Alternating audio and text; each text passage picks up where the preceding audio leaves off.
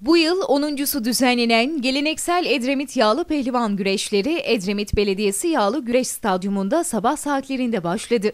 Saygı duruşu ve okunan İstiklal Marşı'nın ardından açılış konuşmasını yapan Edremit Belediye Başkanı Tuncay Kılıç, bizim Orta Asya'dan Anadolu'ya dek süre geldiğimiz bu atasporumuzu yaşatmak gibi bir iddiamız var. Edremit olarak güreşlere başlayalı 10 yıl oldu ve bu spor artık geleneksel hale gelecek. Bu Kaz Dağları'nın yamaçlarında Edremit'in ovasında koç yiğitler yetişmesi için gençlerimizin, atalarımızın, ecdadımızın ismine layık olarak Koca Yusuflara, Kurtderelilere layık olarak kendilerini yetiştirsinler, uyuşturucu alkol batağından kurtulsunlar istedik. Hepsi bu toprakların Anadolu'nun efe evlatları olarak yaşasınlar istedik. Önce nefislerine karşı mücadeleyi versinler, sonra er meydanında sırtları yere gelmesin, Türk'ün gücünü duyursunlar istedik dedi.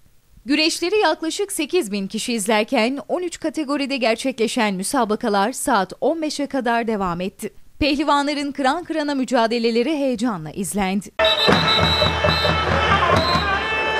Küçük orta büyük boy ayağa kalk. Ali Varol Pehlivan son çağrı.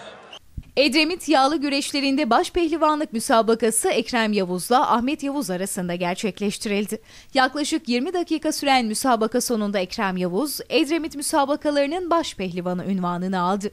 Baş pehlivanın altın madalyasını Edremit Belediye Başkanı Tuncay Kılıç taktı. Kupasını da alan baş pehlivan Ekrem Yavuz, güreşleri düzenleyen Edremit Belediyesi ile destekçilere teşekkür etti.